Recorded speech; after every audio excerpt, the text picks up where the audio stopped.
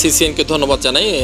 কক্সবাজারের অন্যতম প্রচারিত মাল্টিমিডিয়া। এটা কক্সবাজার অত্যন্ত জনপ্রিয় একটি চ্যানেল আমি মনে করি। এখানে অনেক দর্শক শুভানুদ্ধি আছে। তাদেরকে দ্বিতীয় বর্ষ পদার্পণ উপলক্ষে সকল কলা কৌশলীকে আমি ধন্যবাদ জানাই যে কক্সবাজারে এত সুন্দর একটি চ্যানেলের মাধ্যমে সংবাদ পরিবেশনের জন্য। আমি পাশাপাশি দ্বিতীয় বর্ষ প্রধান আমার যে প্রত্যাশা থাকবে যে এই চ্যানেলটি আরও বস্তুনিষ্ঠ সংবাদ পরিবেশন করবে এবং কক্সবাজার যেহেতু একটি পর্যটন নগরী, পর্যটনের বিভিন্ন সম্ভাবনার বিষয়গুলো তুলে ধরবে।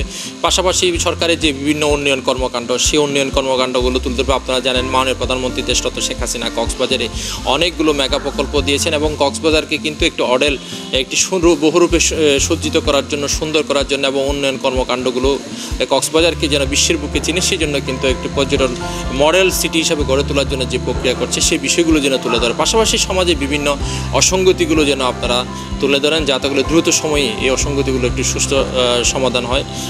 যেহেতু কক্সবাজার একটি পর্যটন নগরী, সেই পর্যটনকেও এবং এই সম্ভাবনার একটি বিশাল একটি ধার রয়েছে বিশ্বের সর্বোচ্চ দীর্ঘতম একটি সমুদ্র সৈকত কক্সবাজার রয়েছে।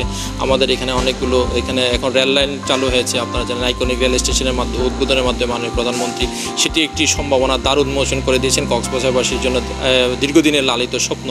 যে সব বিষয় মিলিয়ে আমার কাছে মনে হয় যে আপনারা বিশেষ করে বিভিন্ন আইন অঙ্গনের খবরও আপনারা প্রচার করেছেন। আমি সেই জন্য আপনাদেরকে ধন্যবাদ জানাই।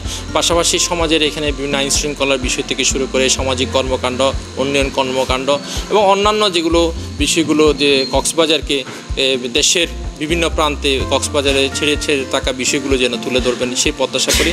এবং দীর্ঘদিন যাবৎ একটি একটি বছর পার করছে সিসিএন। তো সিসিএনকে আমি সকল আবারও ধন্যবাদ জানাই কক্সবাজারবাসী সবার পক্ষ থেকে যেন একটি আরও বস্তুনিষ্ঠ সংবাদ পরিবেশন করেন এবং এটাকে এখন যেহেতু আধুনিক যুগে, স্মার্ট বাংলাদেশের দিকে বাংলাদেশ দাবিত হচ্ছে, এই প্রযুক্তিগত দিক দিয়েও সিসিএন আরও উন্নত হবে, সে প্রত্যাশা করি এবং আবারও শুভকামনা রইল।